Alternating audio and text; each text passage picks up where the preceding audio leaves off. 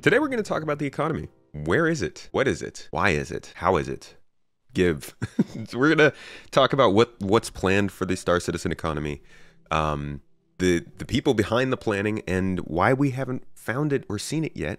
Uh, it's going to be a long one, I think. We have a few pretty long videos to go through here.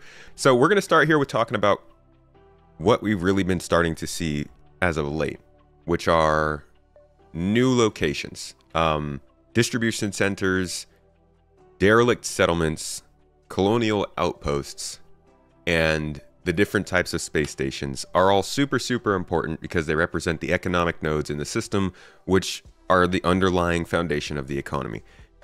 I think part of the reason we haven't seen the economy as much yet is because they just haven't had enough of these economic nodes. Like they we have gosh, I don't maybe 30 UGFs in the system, uh, four cities, 12 space stations. Overall, like we have less than 60 locations. And I think given the number of people in a server and the number of locations we have, the scale might not be enough. But when you listen to this sort of explanation they have about how economic nodes affect the economy, it it kind of starts to explain why they need to start pumping out more of these locations, which we've seen a ramp up of in the last couple years. So this is, I think, one of the biggest signs that they are making progress towards what they want to do. And I think we've heard some messaging on this, something like this last year. But anyways, here that is. So let's talk about economic nodes now. An economic node is. I, I do, by the way, I have him sped up a little bit because this is a. you know what? I'll play it at real time. It's just going to sound ridiculous if I speed it up. Here we go in the game, which might be represented via an actual storefront, a kiosk, a UI interface, or an NPC, that possesses an item manifest detailing the items it wants to buy or sell, storage capacity, and a fair bit of data related to determining prices. This includes refineries that process ore, factories that produce goods, and retail stores where you buy finished products. Factory inputs aren't explicitly denoted, but are instead derived from the production formulae of whatever they manufacture prices, what economic nodes are willing to pay for their inputs, and what they want in order to sell are determined algorithmically based upon the rate of change of their, of their inventory versus the tangent of a pricing curve. This means that they're smart enough to say raise the price of what they're selling even when their inventory is low if they detect that they're being resupplied at a sufficient rate to get where they want to be in a reasonable amount of time. So clearly there's some dynamism happening here, which is fantastic. Unfortunately, super, that's super where the fantastic. good news ends. So like we're starting to see we're starting to see some of these locations. Refinery, factory. These are like we've seen refineries at the new uh, outposts they're building. And we've seen factories, I think are distribution centers are the kind of things that means. Retailers, just the stores we already shop at. As with missions, economic nodes don't have any real context in terms of supply and demand, and there's no systemic flow of goods throughout the economy. Why does a refinery want ore? Where does a shop get the goods that it's selling? Right now, the answer to all these questions is the same. We fake it. Economic nodes conjure up their own supply and demand out of Hot thin air. Stream. If a node Get out is of here. designated as wanting to purchase a particular item, for example, designers dictate a formula that describes how that inventory will be gradually burned. Yo, Anthro with the one sub. Thank you so much. Appreciate you as well. Ten months. And the shaken, shaken no tomato. Real demand. This is impossible to balance because while production and consumption are fixed, the player count isn't.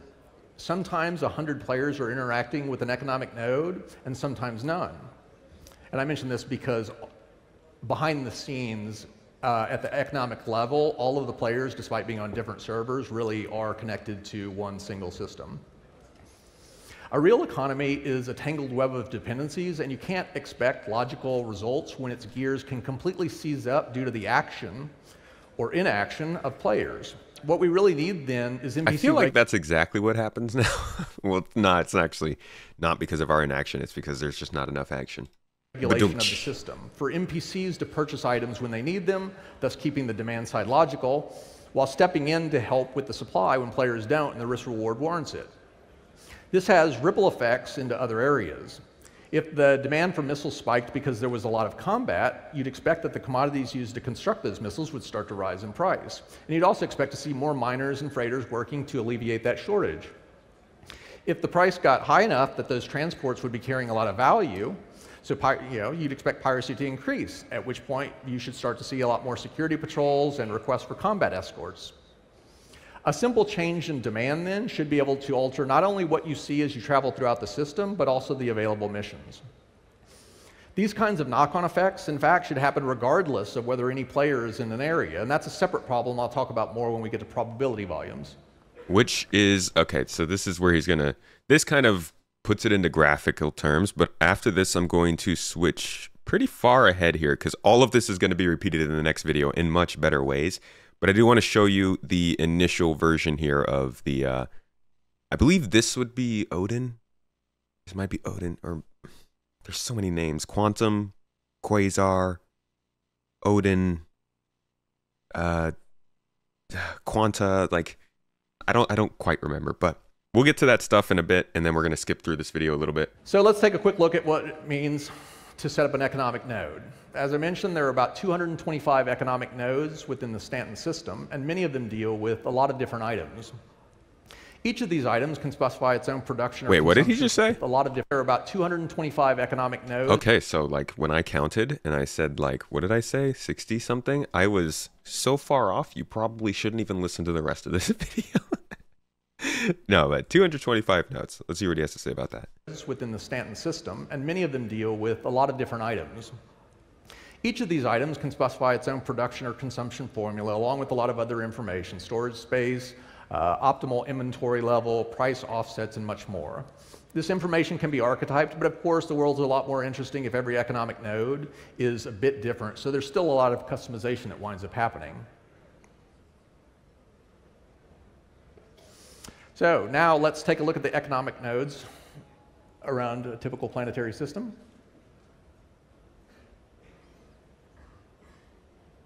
Cough, cough.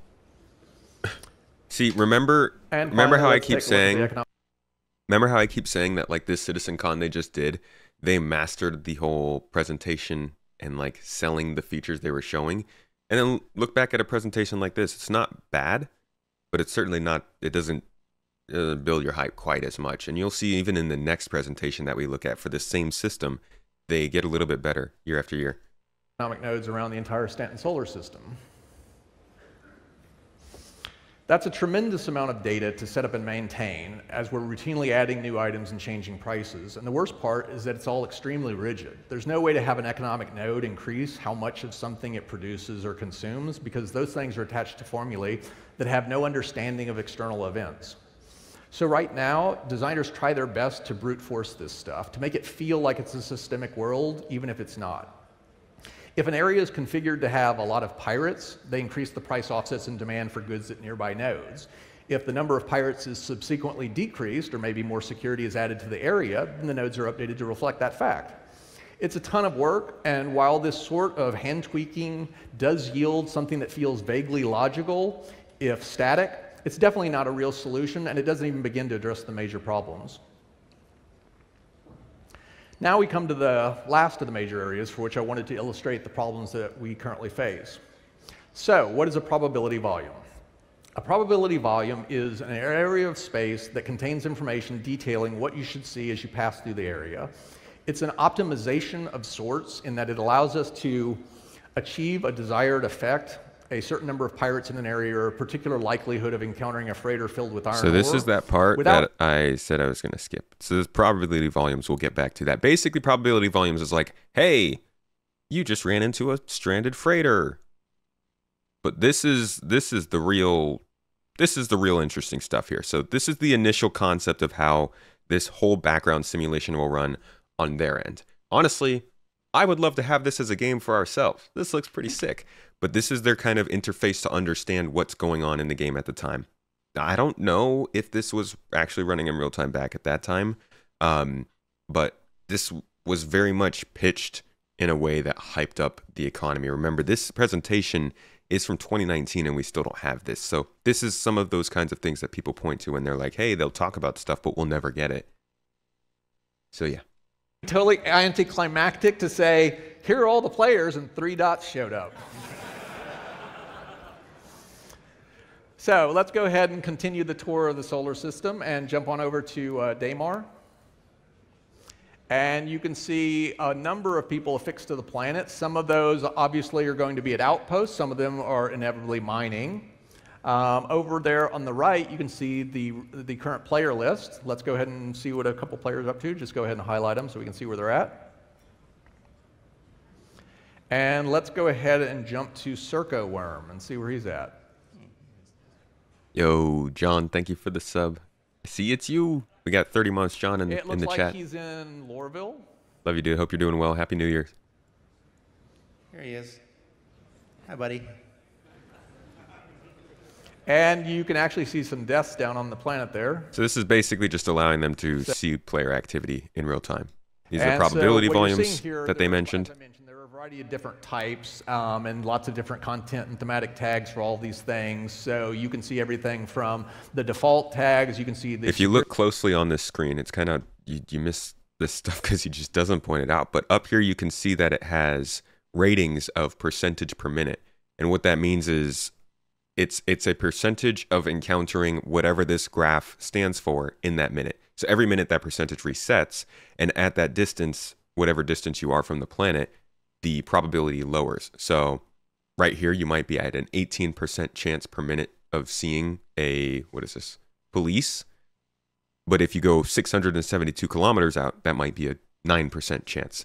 And that, that occurs for bounty hunters, for police, um, for pirates, for freighters. And it changes based on the relationship between each other. So more police means more freighters, means less pirates. More freighters means more pirates, could mean less police, but could also mean less pirates because there's more police. And that whole idea is supposed to account for every planetary body there is. I don't know if it accounts for space stations. I guess it probably is every every location, so outposts and cities too. But we've seen this applied to planetary systems.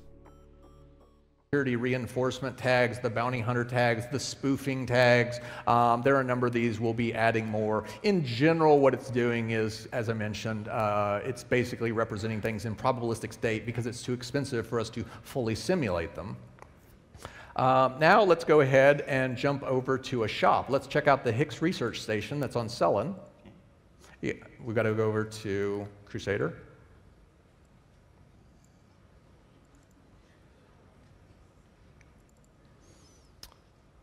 And let's go ahead and open up that shop. Oh, look, here's. Yep, there's Outpost Kareah, and you can see that there's a lot of a lot of death around there. And over on the right at the Hickes Research Station, you can see all the things that it buys and sells and what those prices have been doing over time. I love how there's just like Prices have been doing abandoned building. Okay. over time. Sure. Yeah, I know that place. Now, I suspect I know what you're thinking at this point. This is all very cool, but it doesn't really solve any of the fundamental problems that I mentioned earlier, and that's totally true. So let's clear the board and get to that. Let's see. Mark my words, the next time they do a presentation on this program, it's going to be night and day from this in terms of like just how well prepared it is. Their God, their CitizenCon this year was so good. So I'm a fan. The primary reason for quantum's existence is to enable us to have one unified world where we can, you know, simulate millions of NPCs and feed back into that all of the player actions into one unified whole. So there's really no difference. There are some optimized areas, the probability volumes that exist in between these two, you know, these two realities, but really this, you know, th- this is this is the full-blown simulation. It takes into account all the player actions. So let's go ahead and start by bringing a thousand quanta to life. You know, I'm gonna, I'm gonna. Y'all don't get me started on it. But I'm going to draw emphasis to the fact that he did indeed call the actual AI Quanta, while the system, as you can see up in here, the, the actual simulation of the game is called Quantum. I just. I'll try not to say that too many times throughout this stream, but I, uh, that's my, that's my thing and I'll I'll die by that. a thousand quanta to life. You on the wrong one? Yeah, that's fine. In anybody's defense, it's their own fault for naming the system quantum and the things quanta and the travel method quantum and the fuel quantanium. it's just Streaming in from another system. Oh, another God. There. These are simulated entities.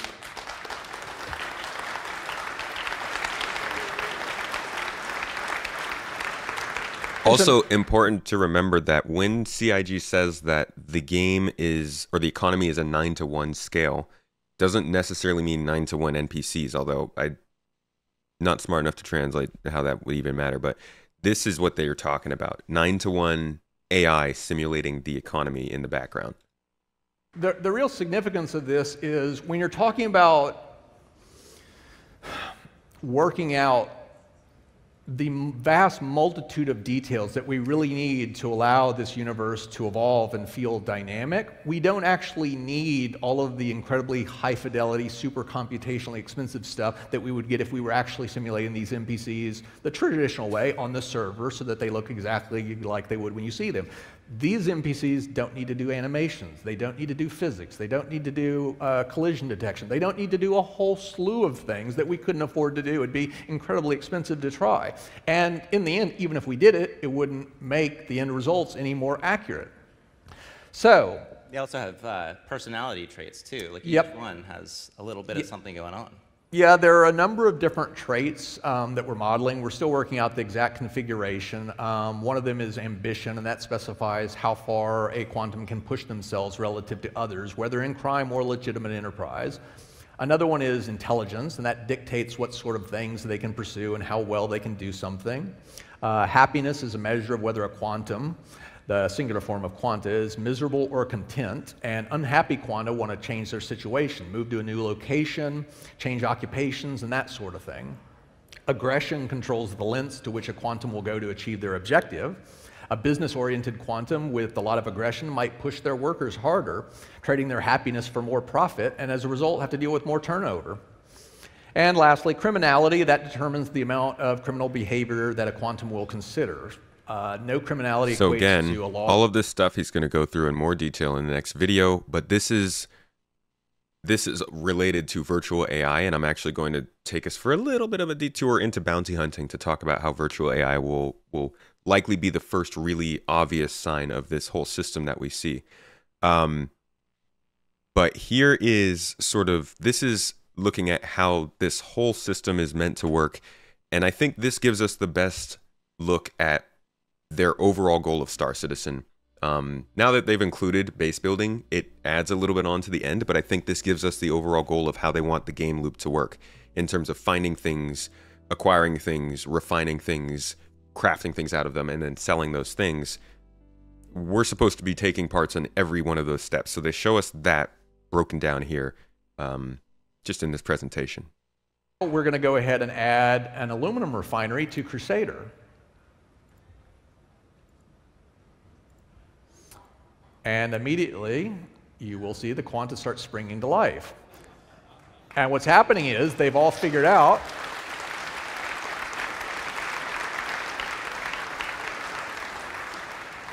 they've that refinery it wants to build up a stockpile of aluminum and in order to do that it needs some raw aluminum ore and thus it's willing to pay for it and so the quanta are seizing upon that economic opportunity heading out to delamar doing the work extracting that ore and taking it back to the refinery and this will continue until it you know until it's until it's full. So let's go ahead and open that card up again, and we can watch the refined aluminum ore gradually build up.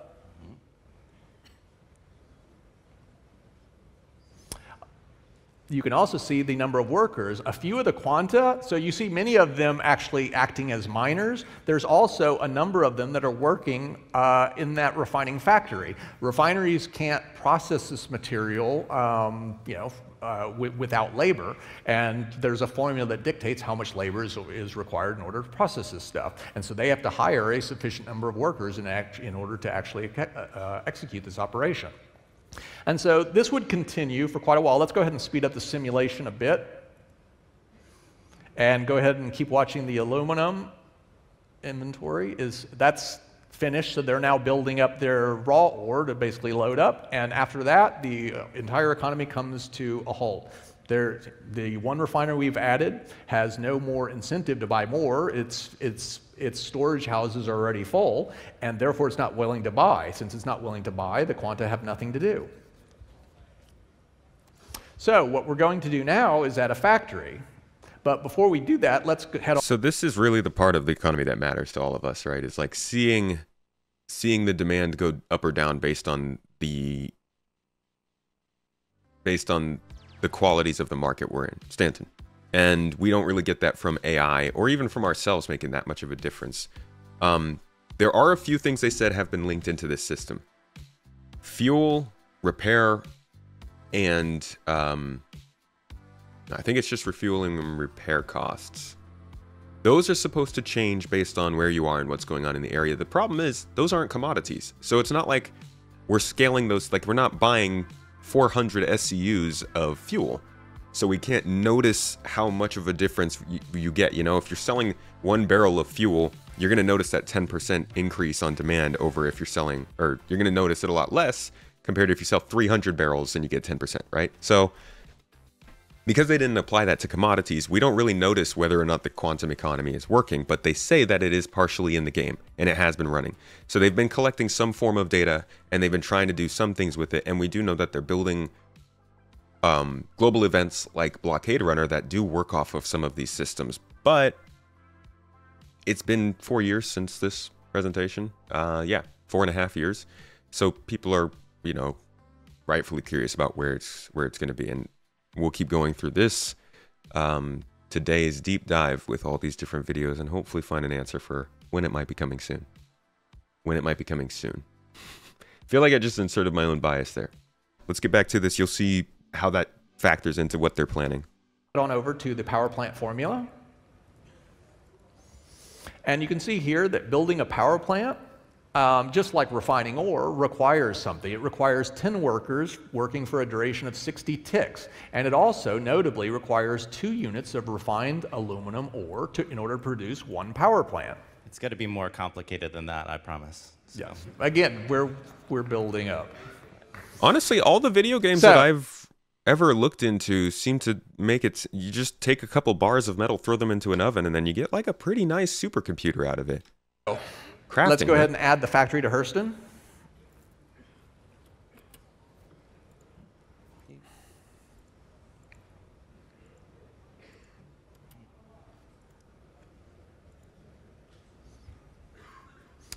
Oops. You gotta slow down. Oh, going too fast there. Slow on down. And so once again, you see the, see the economy spring to life. And so now you've actually got two different tiers going. The factory Let's go ahead and open up the factory. The factory, just like the refinery, needs workers in order to build these power plants. It also needs refined aluminum. So now you've got multiple things going on the factory is willing to buy refined aluminum. Someone has to transport that aluminum from Crusader to Hurston. So some of the quanta are basically working, you know, they're, they're basically working as freighters to move that, you know, to move that product from one location to another. Some of them were working at the factory on Hurston. Some of them were working at the refinery on Crusader. Some of them are heading back to Delamar to actually do more mining. So you've got an entire little, you know, economic cycle going here.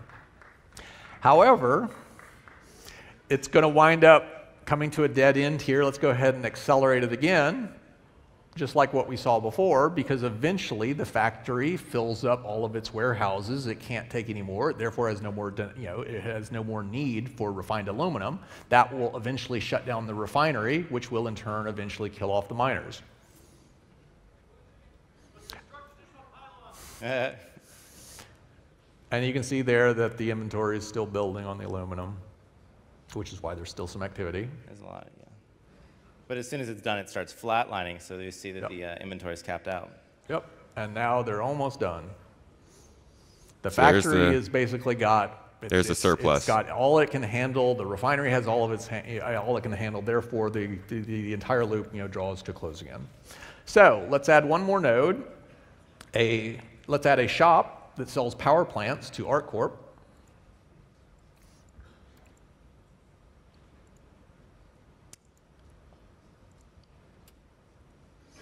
Slow it down again.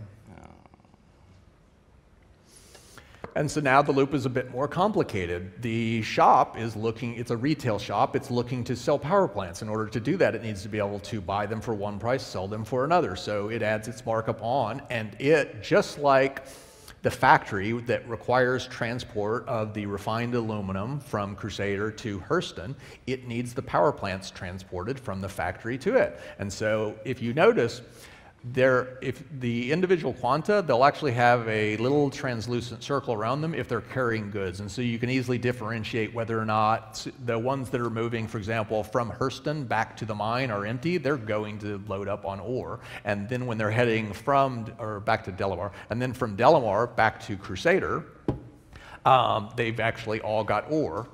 And so this loop will actually continue indefinitely. And the reason is because we've cheated something for tonight, which, and it sounds very similar to what I was basically saying was a bad idea earlier, which is the shop right now is a simple consumer. It's, bur it's burning off that inventory. The difference here is that the solution to that is very simple in the context of quantum. And the reason is these quanta the next step of what we'll be working on is they'll actually require ships. Ships require engines. And so all of a sudden there's a real demand for how many power plants do you need? How many ships do you need? It all follows those same you know, logical equations. So let's go ahead and add a bit more economic complexity. Actually, a slide.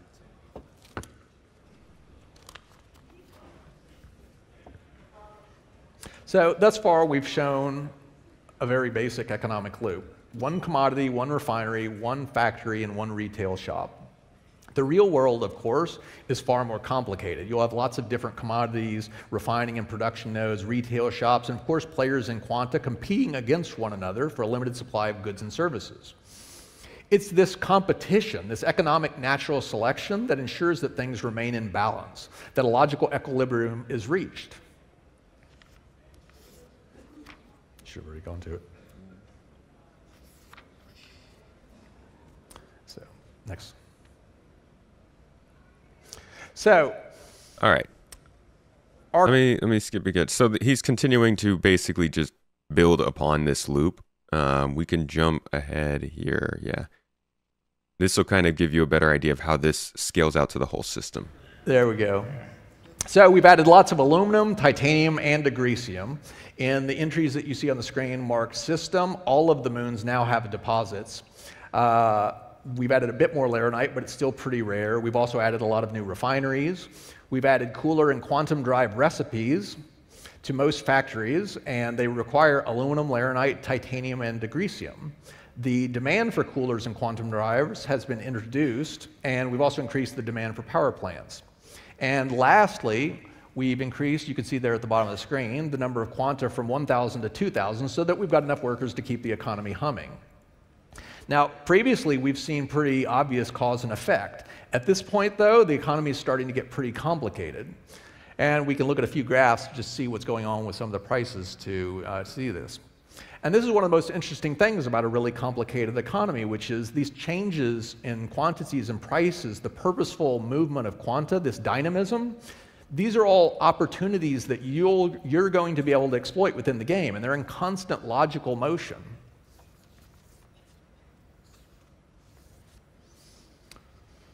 So let's hit the next one. Be a shame if uh, somebody came to steal from these people, huh? Yep, we'll bring up the slide. Oh, okay. you got to bring the slide. All right, so now we've, inter- we've introduced some, some pirates. Um, let's go ahead. And so you can see that there are four pirate kraken. There's the Nova Riders, Low Riders, Nine Tails, and Dusters. Pirates have to return to one of their bases in order to refuel, rearm. Um, let's go ahead. If you notice, they head to the areas of highest value. Uh, if you, let's go ahead and zoom in there. And you can see that those are missions being created by the NPCs, no different than players would. In other words, you see a lot of deaths on a route that's got a lot of value. Um, and go ahead and hover over some of those contracts. These are contracts that are being thrown out by the NPCs on that route. What's happening is the NPCs are basically being, you know, some of the freighters are being picked on by the pirates, the ship is being destroyed, and now that NPC is, has ejected and needs transport back to civilization. And so they're requesting that. And these are missions that would be fed back into the game that you'd see, and you could wind up accepting these. So that's kind of that's where combat beacon missions are supposed to be coming from. Uh, that's something else actually that's been tied into quantum besides the commodity prices we mentioned, the fuel and repair. Uh, combat beacons. If you noticed, a lot of them were added kind of in the last couple of years, and they pretty consistently populate your missions. If you want to go take them, you can get pretty good pay for them. But that's supposedly also linked into quantum, and that's supposed to be directly tied to this kind of thing. If you're in a more dangerous part of space, you'll get more combat beacons.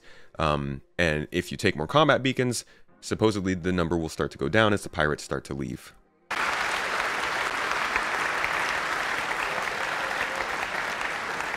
Let's go ahead and take a look at uh, Hurston, the coolers Guys, and quantum drives. Check this out. This is where they're operating out of, you guys. Right?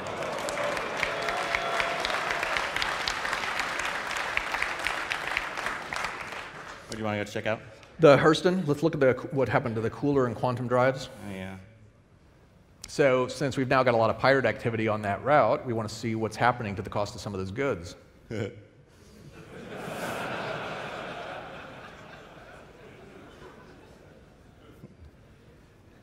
For a cool half a million UEC, you can get yourself your own power plant. Oh, yeah, I can barely see that. It's actually normal. Piracy is really terrible for economics, you guys. So, Yeah. So let's go ahead now. you can and- really see it over at the coolers Yeah. where it started at like a really reasonable thing. Like Yeah, that's that's pegged. It's just it's the scale. So basically, they were down around 1,000, 2,000, and now they just absolutely skyrocketed in price because so many of the freighters moving, whether it's supplies or moving, you know, the finished product from one location to another, are now being intercepted. And these quantas I mentioned earlier, it's like they have various traits, and some of them are very risk averse, and they won't go down routes where you know there's a significant chance of death. And so to counteract some of this danger, let's go ahead and bring in someone to fight the pirates.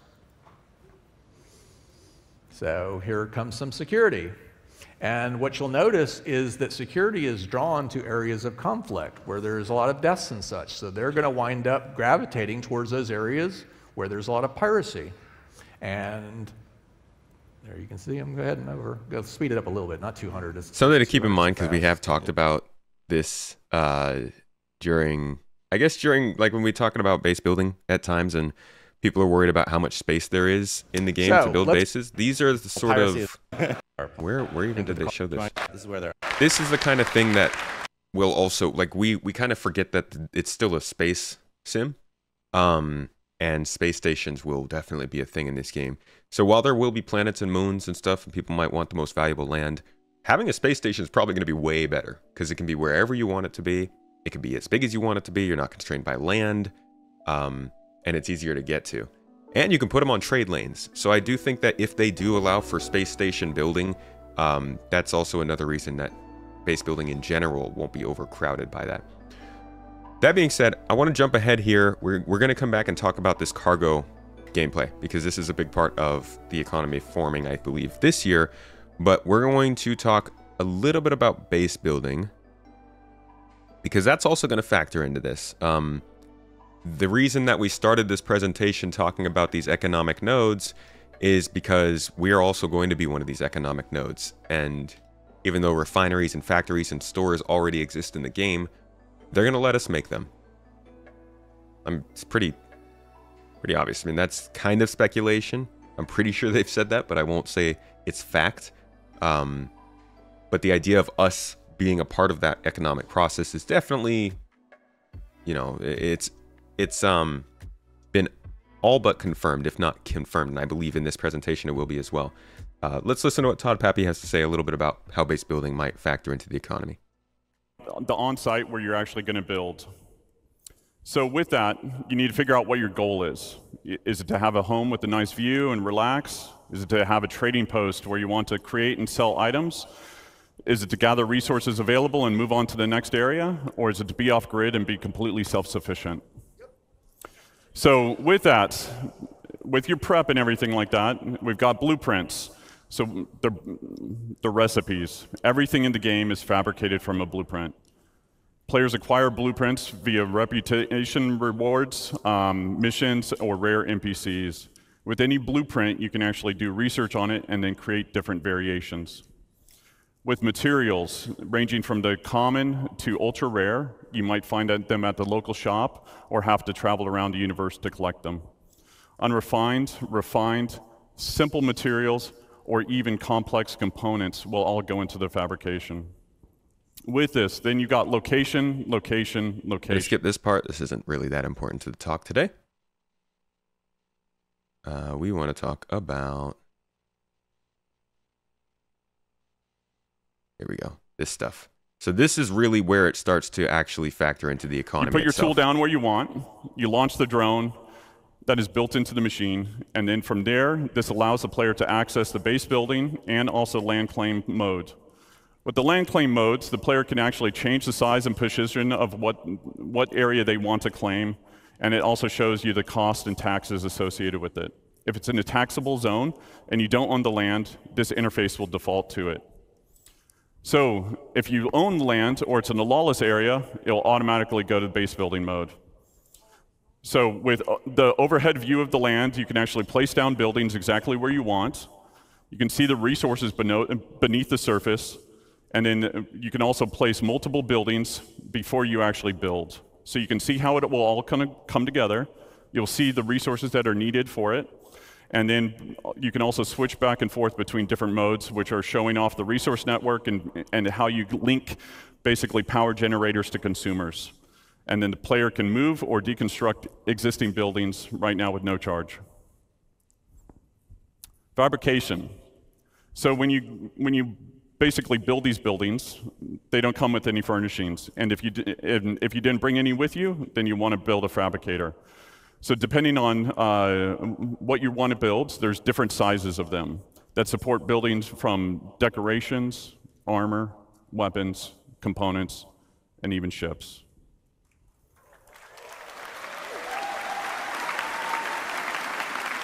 So like base building mode, you need blueprints, resources to craft what you want. Everything fabricated is produced from a, it produces a physicalized entity. Stats and quality will depend on the quality of the materials actually used. This is why once you've done this, that, this is why this is the only reason really we're talking about this today. Um, base building is going to be a huge deep dive. We will be doing that starting from the very beginnings of when they talked about that till now. Um, but for today, I just wanted to talk about this and really draw home the emphasis that they are talking about finding resources and building and creating basically anything in the game. And for that to happen, we have to be able to buy and sell that on the market of the game or else the economy wouldn't work. So you can see from here, it's not necessarily like them not saying, yes, you will be part of the quantum economy, but if you're making stuff, you're part of the economy. And our bases will have to factor into this massive system that we're looking at with Tony Z called Quantum. And that's that's the only reason really why I want to show you this. We could finish up a little bit of this talk because it is hyped, but um, that's the emphasis and the point I want to take away from this part of the talk. That and you built your decorations. Now you can actually fill the room the way that you want to fill it. So furnishings can be purchased at different locations, or they can actually be fabricated. You can do that via first person or in a dedicated mode in the surveyor's tool. With that, you've got different types of buildings. So you've got utility style, which would be garages, freight elevators, landing pads, storefronts. And then you've got extractors. So with, with extractors, we want to make sure that nothing in regards to resource gathering is fully automated. A, player, a level of player engagement is always needed. So as Nick talked about before, there are different types of commodities, radioactive, perishable, et cetera what you'll be doing is pulling out full containers. Then from there, it'll be repairing, or there's wear and tear associated with it, or even misfires like you saw in Thorsten's talk and Guillermo's talk yesterday. There's also upgrade paths for making them more efficient or resilient. Power generators. This is also, um, uh, okay, I'm going to get just a little bit distracted. It has to happen at least once. Um, I'm going to go back to a video they made because this is really important part of engineering. A lot of people are unhappy about the amount of effort going into engineering for ships, but there's a lot more than just the ships that they're doing engineering on. They're doing um, uh, they're going to be doing these bases that we're building are going to have to balance power and resources and um, gosh, uh, life support. All of these resources we're thinking about for spaceships are going to exist in cities and outposts and space stations. So it's not just a ship system they're building. It's it's so that this kind of stuff actually makes sense to us. So if you go all the way back to their very first looks at um, the colonial outpost style, and you'll kind of recognize like this is this is stuff we've been seeing in their presentations recently. Uh, you'll see that they already had these sort of like interactive points planned out and labeled here. Um, little interactive points where you would be managing these power systems or these cooling stations because engineering from you know, I guess this is only 2021. It's not that long ago, but engineering has always been the kind of part of complicating this sort of gameplay and a part of making sure that just because you can go and build that base or just because you can go and buy that ship doesn't mean that it's necessarily going to get you everything you want. It's not going to make make it so that you're just suddenly winning at everything that you try to do. You still have to plan out and make use of that stuff that you're making. I think that's a huge part of this game that they should double down on because like nobody wants to jump into this game and feel completely out of depth just because they don't have like the money or the the, the people to go and claim a bunch of land. Smarts. Gotta build smarts into it. So with different types of power generators there mm, there'll be some that are more cost effective as well as effective in different areas. Solar panels will not always work in darkness. Fuel generators will need to be filled up every now and then. And then batteries to store excess power then you've got producers. So things that will require the players to combine different resources to produce new items. And then you've got defense. So anti-air, anti-personnel, and then shield generators. And that's and then, this is this is the big like people are asking um, like what happens to my base? It's, people can just bomb it from the sky. I think they'll probably give us quite a bit of opportunity to defend our bases to the point where they're basically impenetrable, at least in certain systems. Uh, we could go back to this whole talk about um, the safety of space. If you're in a high security place like Stanton, I would assume. Yeah, I, w- I would think this is like a Stanton sort of system. Um, most places in Stanton would be high security um, yeah, and then I think you're just going to be protected almost all the time and be pretty good. But really, this was about understanding how we are going to affect the economy ourselves, how we are going to become part of this economic node system that they're talking about and help to build up what will eventually make Star Citizen run. So then from there, we're actually going to jump back in time again to the following year, or I guess the same, the wait, what year is this? 2019. So two years after that first presentation we watched, Tony Tony Z came back to give us a more polished and I think better understanding of what this whole system is going to be. The kicker here is we're going to talk about virtual AI. And the whole reason I'm talking about this presentation today is because virtual AI, I think, will be the actual edition of the quantum economy this year. I don't know if they're going to get all this quanta simulation stuff going, but virtual AI we need for bounty hunting and I'm pretty sure they want to push that out this year, although they wanted to push it out last year, so that's never really that indicative. But either way, it's fun to talk about, so let's let's talk about it. Here you go, Tony Z. Give him a swing. Of development, and will sometimes resort to illustrative examples so that the underlying concept can be made more clear. First, a quick review.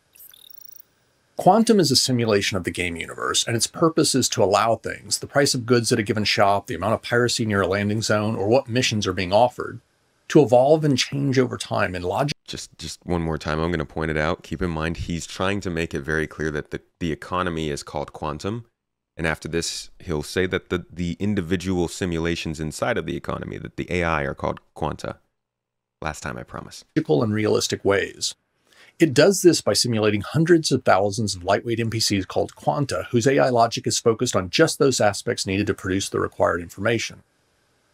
Based upon a small list of attributes, each quanta makes its own decisions using the same resources, shops, and jobs as players. The simulation will need to calculate many millions of decisions per minute, and thus the AI behavior of Quanta is focused on the most economically impactful details, which lets Quantum focus all of its processing power on just those things that truly matter. Every quanta possesses its own unique set of attributes that influence how well it performs and how it perceives opportunities. The initial implementation of attributes will have two main categories, proficiencies and traits. Proficiencies act like a multiplier on how well quanta perform a given task. Different jobs will require different proficiencies, and higher proficiencies will equate to superior execution. Traits describe what kind of jobs a quanta prefers to do by modifying their perceived value of the job. Each job will have a specific alignment, and when a quanta's traits match up with the job's alignment, they will perceive the payout of that job to be higher. To illustrate the concept, let's take two jobs on either end of the aggression scale and suppose, for now, that they pay out the same. Now, let's create a quanta with an average aggression rating. This quanta is no closer to the aggression alignment of factory worker than they are to security, so it's no surprise that for this quanta, the payout for both jobs looks the same. However, as we decrease the aggression rating of this quanta, we can see that the perceived amount of money for both jobs changes. Again, the actual pay hasn't changed at all, only the perceived value from that quanta's point of view. It's still possible for the quanta to choose security, but in this case, security would need to pay four times as much. If we change this quanta's aggression trait to be very high, the opposite happens. Now, the aggressive security job looks like it pays much more, and the peaceful factory worker jobs appear to pay much less. Of course, jobs have more than a single trait to distinguish themselves. Suppose we take another aggressive job, pirate. With just one dimension, the pirate job would look just as lucrative to this quanta as the security job. We can differentiate between these two jobs by adding the morality trait and putting both of these aggressive jobs on the proper place on that scale. Okay. So this is Now- this is obviously getting a little bit away from the macro simulation and more towards AI programming. Um, and we've actually, if you go to the presentation from CitizenCon this year, um, CitizenCon, uh, Life in the First Person, this one, and you jump out to where they're talking about kind of how AI act, you'll see that they are. This is like this is something that they're doing on both the combat and the sort of proficiency side that he's talking about. But the idea of customizing AI to do certain things in different scenarios, uh, it tracks across a lot of what they're doing with AI. I think this is really kind of cheeky because they talk about this idea that players in AI will be doing all the same things. So if you're in a system like Pyro and there's not many people there, and you put out a distress beacon that you need fuel, that's going to go out to NPCs and and people probably no people are going to want to answer it first, but there is a chance that NPCs that particularly have certain types of affinities might not take that that beacon for whatever reason, and that would be the reason why eventually a player might have to pick that up. And I think it's kind of cool because that makes a system where you'll always get helped. Not always, depends on where you are. You'll you'll generally run into somebody that can help your situation, but it will likely be factored through NPCs first. And I guess the idea would be that as nobody comes to get you, you would just ramp up the cost more and more until, as he's saying here, the perceived pay is enough for that NPC or that AI that's simulated to accept the beacon and give you the services that you're asking for. That's I think that's how they they want this to work.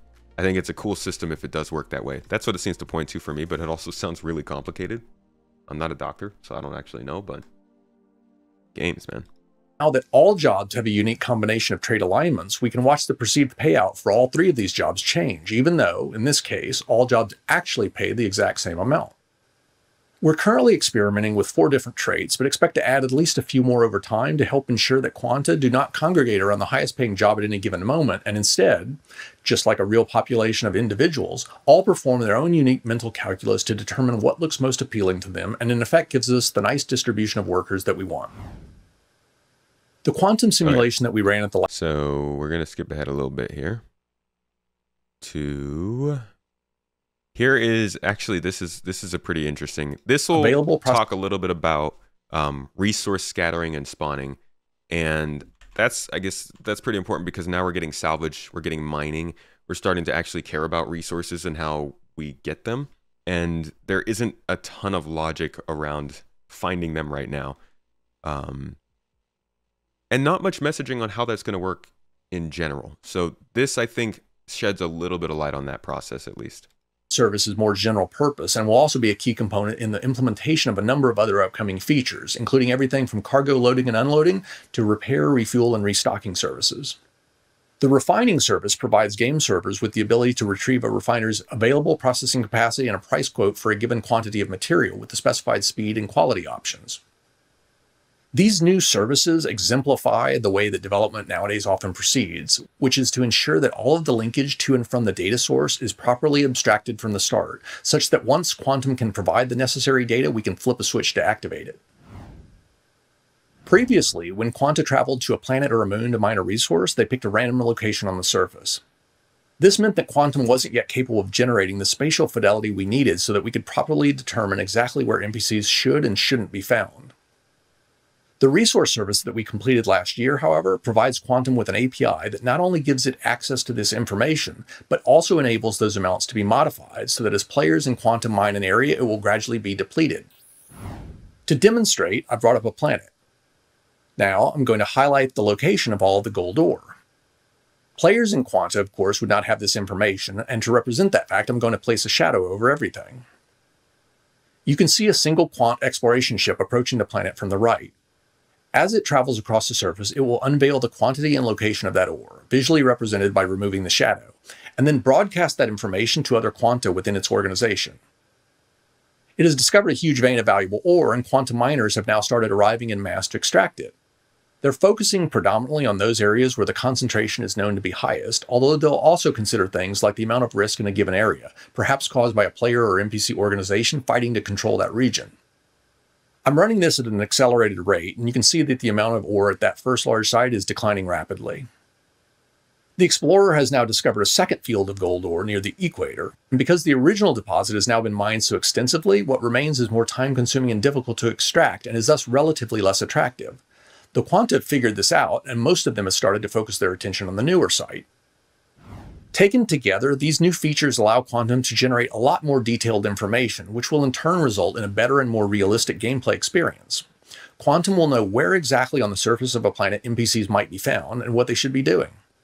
It will understand the value of knowledge and factor its acquisition, sharing, and sale into its calculations, including what any information you eventually attempt to sell would be worth. It's also why you as a miner might not actually get blown up as much as you think, even if there are pirates around. There's going to be a lot of NPCs getting blown up. Um, now let's shift gears a little bit. We're still talking about the economy, economy, um, or we're still talking about the simulation and and quantum, but we're gonna actually jump into bounty hunting, just a tad bit here. Not too much. There's not actually that much to know about it.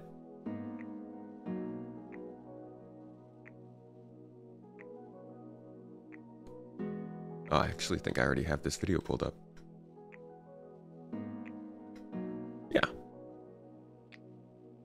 So bounty hunting itself is a pretty simple um it's pretty simple part of the game right now. You just fly somewhere, you blow somebody up, and they die, and you get paid.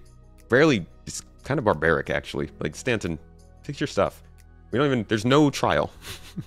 hey, the poets, happy Hall- uh, Halloween, happy holidays, dude. Thank you for the sub. Appreciate you, man. Good sub for five months here, homie. It's good seeing you at Citizen Con, dude. I hope you had a good New Year's and Christmas. Um, so yeah, bounty hunting is like really, really simple right now, and it doesn't. They're gonna have to scale up the pay based on the time, but right now you can basically complete a bounty mission in 10 minutes. Get your ship, fly somewhere, and blow them up. In the future, you're gonna have to log into different services to track down your target. You're gonna have to use the ATC, the um, the the custom systems at, at, at cities, different places, com you're gonna have to log into those systems and see where your target was getting pinged by these com and then go to that area and track them down. Um, when you find them, you can't just kill them. They might be dead or alive wanted, so you might have to restrain them, put them in your ship. You might need special drop pods that you can actually use to, um, oh man, where am I gonna find you know, I probably couldn't find that footage. I think we found it earlier, actually. Didn't we find it the other day when I was looking for bounty hunting footage, you're gonna have to use special drop pods, put your target into the drop pod, take them all the way back to the jail, and then you'll get paid. Obviously, that'll take a lot longer, so you need more money. And I believe the way that it's going to work, if you're, say, a player who's getting captured by a bounty hunter, you would then have to. Um, you would probably go into the drop pod, and that would spawn you back, kind of like we do now with the medical beds. You wouldn't actually have to sit in a pod and just look at the wall for far too long. Okay, so this is April. Let me go back to April real quick and see if we can find this. Um, oh yeah, that's right. That's how we found it last time. It was the only sprint report of the year. That's where they. There's also stuff.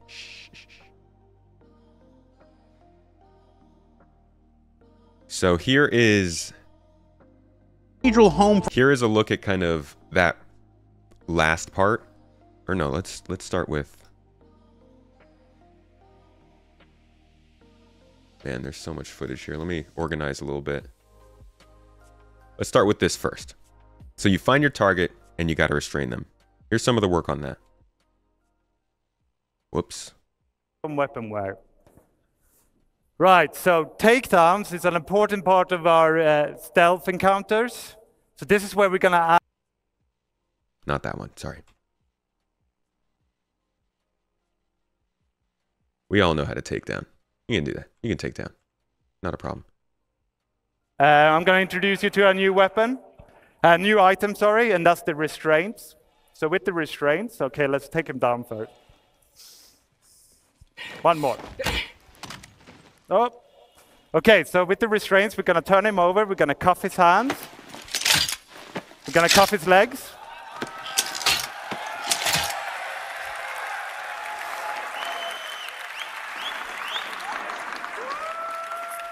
Now, if he wakes up, he can't chase us down, right? But he could call out for help. So what we're going to do as well is we're going to add places in the environment where you can stash a body. You can hide them, either unconscious or dead.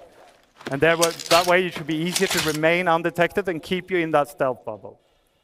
Um, now, So- this is another thing we He's he's talking about it in the sense of uh, stealth, which is interesting. I mean, it is part of this stealth presentation with takedowns, but really that's a big part of bounty hunting too. So if we go back in time to earlier in the year, see what they were saying about bounty hunting, um, or at least what you would do with a character after you put them into this scenario. Here's what they have to say. for a variety of mission types. And down on the surface of Hurston, work is underway on early white box phase of local law enforcement offices, a place for players to utilize the next evolution of bounty hunting gameplay we'll discuss more about later this year. To collect, or in this case, drop off the captured bodies of criminal outlaws collected by players. Now, the drop off here is right up front, because in early tests, it was getting kind of weird just walking through the hallways, pushing bodies deeper and deeper into the facility. Unless you're into that sort of thing. Moist Noodle. You can then also check out the bounty boards to collect new missions here, or go forward into the shop and resupply as needed.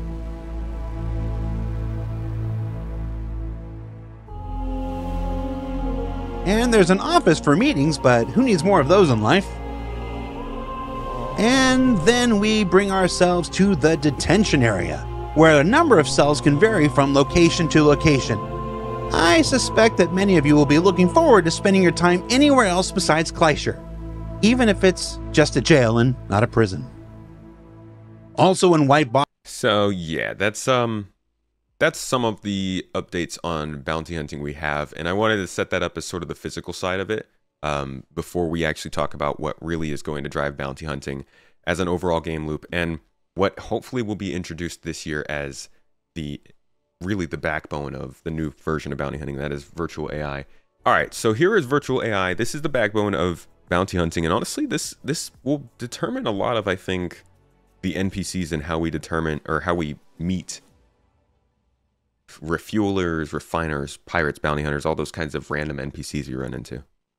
the control service that's required for server meshing to the NPC scheduler that will enable dynamic populations to the virtual AI service that is necessary for the next major feature I'm going to discuss. Star Citizen's AI architecture is broken up into three distinct levels. The high fidelity characters that you see in the game execute subsumption logic on a server, and this is far and away the most computationally expensive of the three types of AI. It's got a similar sense-think act cycle as the other AI, but because you can see the NPCs as they execute their tasks, there's often little to no potential for cheating or simplification. Something as simple as sitting in a chair requires a lot of item searching, animation, raycasting, collision detection, and more. This is a problem because in Star Citizen we're trying to simulate entire solar systems and we can't afford to execute this kind of expensive logic for tens of thousands of characters that players can't even see. So we do what many games do and temporarily suspend any AI that's not in proximity to a player. This creates another roadblock, though, because you can't effectively simulate an economy when portions of it are constantly being shut down and restarted, and it's the fundamental reason why quantum exists. Merging these two AI extremes, subsumption and quantum, solves our basic problem. NPCs look and act exactly as you'd expect when you can see them, and the universe's economic wheels always remain in motion. There's one major flaw, however, with this solution. The heavyweight subsumption NPCs that you can see and interact with don't execute any AI logic when you're not around, and thus they're severely limited in what they can do and when they can do it. Solving this issue is the responsibility of a middle tier of systemic logic that I call virtual AI. Virtual AI allows virtual NPCs, VNPCs for short, to seamlessly transition back and forth between the fully realized and physical world of subsumption and a far more efficient intangible backend ether where they retain the ability to interface with elements of the systemic architecture just like a player. This technology is going to Okay, unleash a lot so- of new and Um, basically, what that means is it allows an NPC to despawn but still be simulated in the background, or it allows that NPC's spirit, the AI, to jump into game and actually be spawned in and rendered for you when it needs to be. So it allows them to be very complex AI without without spending all that data and resources to keep them rendered, flying their ships, engineering their their engines and stuff all in the game uh, at real time. exciting gameplay, but it's going to take more than a few sentences to properly explain what I'm talking about. So let's walk through it all in more detail. This is the Stanton solar system. You can see the four planets, ArcCorp, Hurston, Microtech, and Crusader. I'm going to zoom into the Crusader planetary area, and you can see its three moons, Yela, Daymar, and Cellin, and the space station Port Olisar. You can imagine looking at that station, hundreds of NPCs going about their lives. This is how you think of the universe always in motion, always changing, always real, regardless of whether you're actually looking at it or not. Well, not yet. As I mentioned, though, that's an illusion. We can't afford it. When you're not looking, the server deactivates and unloads a lot of unnecessary baggage, but a wide assortment of backend services retain knowledge of everything that really matters and provide an active interface to those systems. NPCs outside of landing zones are treated differently. Quantum accumulates statistical information for where NPCs should reside and what they should be doing from its quanta, which allows us to determine how often you should see a pirate or what a freighter you run into should have in its cargo hold. These areas are called probability volumes, and the important thing to note is that the NPCs they create are ephemeral. They pop into existence for a brief moment so that the area you're viewing looks like what Quantum says it should, and once they're sufficiently far from any players, they're completely and forever destroyed. I'm going to add a player here, which you can see off to the left. As they pass by Daymar, they're in range of a probability volume that eventually decides they should encounter a pirate. So a pirate is created and engages the player, and after a bit, the player decides that they're outmatched and decides to run. Once they're sufficiently far from that NPC, it's destroyed. It doesn't persist in any fashion, and you'll never see them again. The player continues traveling to Port Olisar, and the translucent green wireframe indicates that the area isn't loaded on the server, and thus the subsumption AI isn't active. I'm going to add a VNPC in a moment, but first let's quickly recap what makes them so different. VNPCs always execute some form of AI logic, regardless of whether or not they are in proximity to a player. Virtual AI is extremely lightweight and computationally efficient, stripping out all of the expense related to visuals and unnecessary details, yet retains the full ability to interact with the game in the ways that truly matter. Virtual AI executes within a backend service and can thus easily be scaled and doesn't put any load on the servers. VNPCs can seamlessly transition back and forth from lightweight back-end driven AI entities to full-blown subsumption driven NPCs, and are thus indistinguishable from an NPC that really did execute expensive subsumption logic all the time. Lastly, VNPCs gradually build up their own unique histories as they live out their lives. They evolve. Okay, so back to the example. Once the player gets close enough to Port Olisar, that area is streamed into existence, loaded onto a server, and the NPCs initialized to resume whatever they should be doing at that time of day. Now I'm going to introduce a VNPC pirate near the player, and they're going to immediately attack. After a few moments, the VNPC comes out ahead in this battle, and the player is killed. Hey, it's me. Because their crime was committed in range of an active comm array, it's recorded in their character history along with the time and location of the felony. An upcoming tracking app will allow you to access information like this if you've registered with the local authorities so that the digital footprints players and VNPCs leave behind can be tracked. This VNPC's name is Dragon, and since they're now wanted in this jurisdiction, the comm array has affixed a real-time marker to his position. With the only player in this area dead, the server now streams Port Olisar and the comm array out, but as I previously noted, VNPCs aren't destroyed like a regular NPC created from a probability volume, and their logic isn't suspended like an NPC at a landing zone.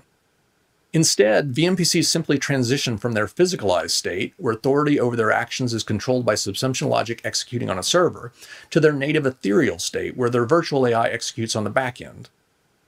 Dragon now begins to exit the area, and the comm array continues to track his position until he passes out of range, at which point the real time information converts to a last known position report. He's decided that he needs money and he's a bit risk averse, so he elects to head all the way out to Yela, where there are quite a few transport freighters carrying valuable ore and little in the way of security. Okay, Dragon has arrived at Yela's asteroid field and has now crossed back into range of another active comm array, so his real time position is now once again being reported as indicated by both the character history and the tracking marker. There aren't any players in this area, and thus none of this is streamed onto a server. Everything you're seeing is a result of a variety of different services communicating with one another. VNPCs trigger probability volumes just like players, and Yela's shows that there's quite a bit of freighter traffic in this area. So, Dragon won't have to wait very long before he generates an encounter. There's one, Dragon just caused the creation of a freighter, which itself becomes a VNPC so that it can react to what's happening via its own virtual AI. Dragon now engages the freighter, he starts firing on it. He's still within range of an active comm array, and thus this latest crime is added to his character history, He's now wanted for both murder and piracy, and the bounty on him just jumped from six to 10,000 UEC. Increasing is, the size of the. This is kind of the crazy part of this whole profession, and really the, the part that um, I cannot wait for them to give us an update on this year because the idea that these NPCs, uh, this system again was they call back to the Shadow of Mordor games, the Nemesis system they made for that. It's based around that same idea that they're always persisting and doing things and they can gain power.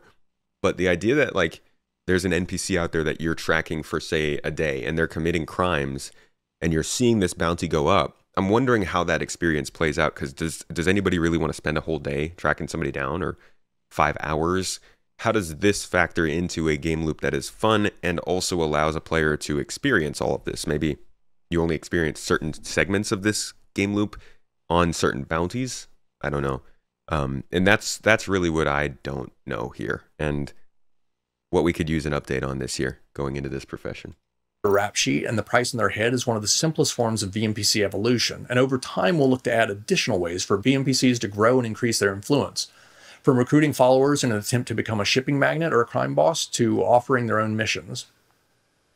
The captain of that freighter isn't going to surrender so easily. He's broadcast a combat assist service beacon that players can choose to accept, and he's offered a 3000 UEC reward for his protection. Unfortunately for him, he's pretty heavily outmatched and he's quickly destroyed, causing the service beacon to expire before anyone can come to his aid. Bits of information like this are fed back to Quantum, and in sufficient quantity will cause all sorts of things to change. How much security patrol missions in that area pay, what transports that have to travel through that area will demand as a risk premium, and how much a ship in distress will offer for someone to come to their aid. The freighter's destruction has left some debris and possibly a few items of value, so if a player had already been en route, they might arrive to find the aftermath. Another murder has now been attributed to Dragon, and the bounty on him just once murder. again jumped, this time from 10 to 14,000 UEC. He took a bit of damage from that encounter and is eventually going to need some repairs.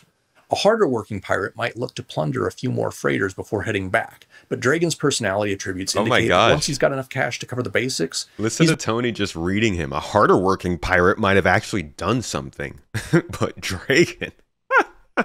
more interested in drinking and gambling than piracy. so he leaves the area, and once again, the real time location tracking ceases once he's out of range of the comm array. He's heading back to Port Olisar, which is the closest location that has everything he wants a fence to sell his stolen goods, shops to repair and restock his ship, and a bar where he can spend the remainder of his cash. The comm array near Port Olisar has been disabled, which means that Dragon's position isn't updated upon approach.